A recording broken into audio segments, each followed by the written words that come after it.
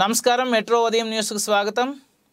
మహబూబాబాద్ జిల్లా డోనకల్లు నియోజకవర్గ పరిధిలో బీఆర్ఎస్ పార్టీ ముఖ్య నాయకుల సమావేశం ఏర్పాటు చేయడం జరిగింది.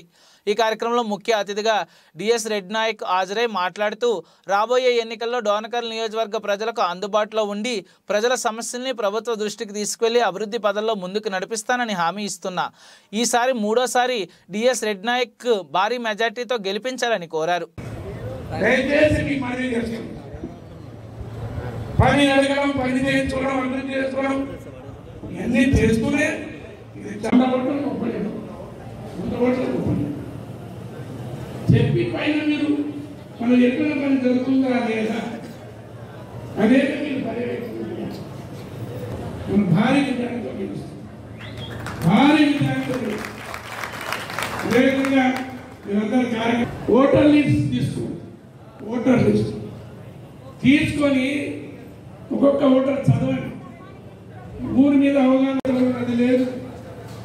అన్ని కూడా వంటి మాటలే కానీ పుట్టదు. అని వాళ్ళు ధర్నా చేస్తుంది కేవలం నాలుగు ఐదు నెలలకి. కాబట్టి కాంగ్రెస్ మాటలు నమ్మకం. కాంగ్రెస్లో ఎవరు ముఖ్యమంత్రి అవుతారో దేవుడికి అర్థ జగ్గారెడ్డి అవుతారా వచ్చే ఐదేళ్ళు మనం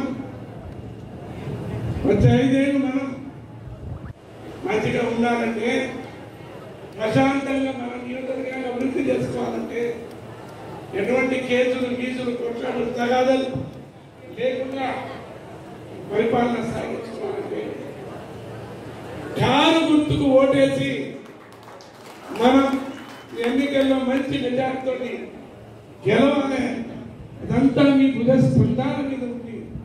ఎవరికి వాళ్ళు ఛాలెంజ్ తీసుకోవాలి. ఎవరికి వాళ్ళు ప్రతి ఇంటికి వెళ్ళి ఓటర్లు మనం చేసే పనులు